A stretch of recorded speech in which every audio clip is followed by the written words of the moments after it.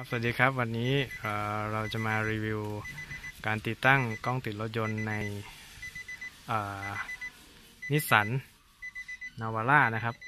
NP 300ตัวใหม่นะครับ อันนี้ติดตั้งแบบไม่ต้องเสียบช่องจุดบุหรี่นะครับ ตอนนี้ผมติดตั้งเรียบร้อยแล้ว ตอนนี้รถดับอยู่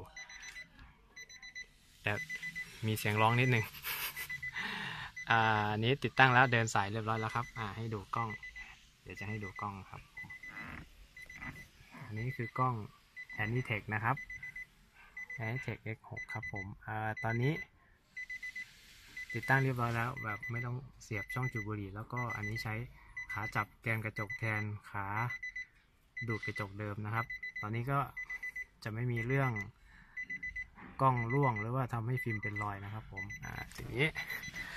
ติดตั้งเรียบร้อยล้วอ่าให้ดู ไม่มีซ้าย ให้เกะกะ แล้วก็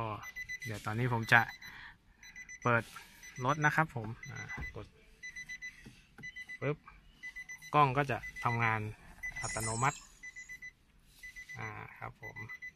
ก็ช่องจุดบุหรี่ก็ยังใช้ได้ปกติอ่าเดี๋ยวผม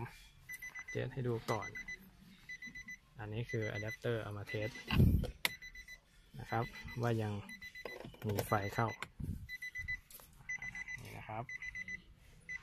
ช่องจุบุรีก็ใช้ได้ตามปกติครับอ่าแล้วก็รถก็จะเวลาดับรถ กล้องก็จะปิดอัตโนมัตินะครับอ่ารุ่นนี้ดีเลย์ประมาณ 3 วิ3 4 วิแล้วกล้องก็จะดับครับ โอเคครับ ขอบคุณครับผมสนใจติดต่อมาได้ครับที่ Line ID อริศักดิ์007 หรือเบอร์โทร 0840282250 ครับ ขอบคุณครับ